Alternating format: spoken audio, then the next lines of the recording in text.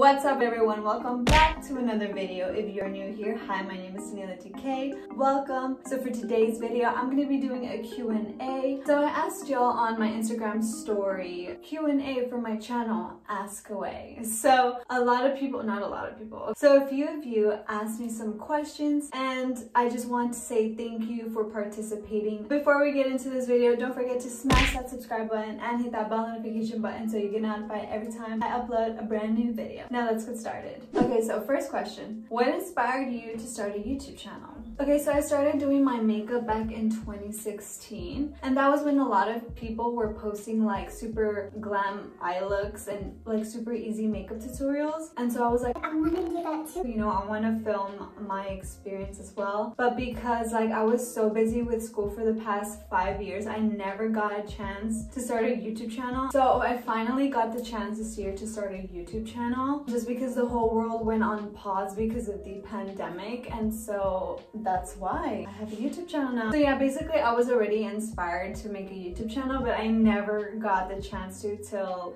this year, so yeah. Speaking of college and how I was so busy, somebody asked, what was the hardest part of college? Well, girl, honestly, the hardest part was studying because you have to cram what you learn in those three weeks. My advice to you would to start studying in advance and study what you learned that day and go over it every day until your test and girl, that will work. I wish I did that, but I didn't. I was like super lazy and studied the last minute. Don't do that because it is really stressful when you try to cram everything. And so yeah, make sure you study in advance. Next question. Where do you get your makeup inspiration? I get my makeup inspiration by these makeup artists that I follow art that I see on Instagram. What I do is I look at the palette that I'm gonna use and I'm like, okay, which three colors are you gonna use in your eye? And so I just pretty much just freehand and just do it. So yeah, basically I'm inspired by other makeup artists. Okay, so next question. What made you start Facebook Lives and start your channel? Well, I want to grow as a makeup artist, so I thought filming and going Facebook Lives is a perfect way to practice on my face and get better throughout the years. So that's why I decided to do that. And honestly, I've noticed a difference in my makeup routine. My makeup is way better than last year, girl. Like practice makes perfect. So make sure if you want want to be an MUA, make sure to keep practicing. Practice makes perfect, like I said. So keep doing it, girl. I promise you will definitely get better. Next question. What is your advice to a young makeup artist just starting?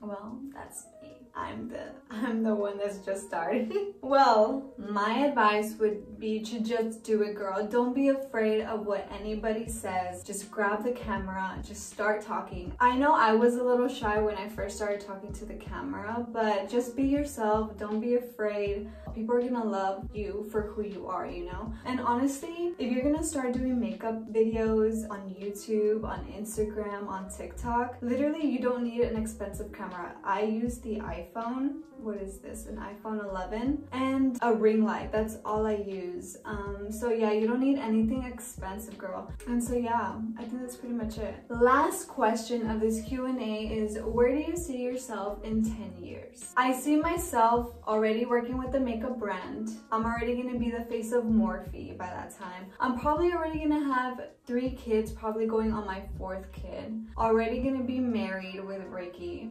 We're gonna have this big ass mansion. I'm literally just manifesting this because I really think that's where I'm gonna be in 10 years. I'm probably already gonna have my own business in makeup. I really want to pursue my own makeup line. Ooh, so excited just thinking about it. And so yeah, that's where I see myself in 10 years. Damn, now that I think about it, going on a fourth child in 10 years, oh my goodness, that's scary.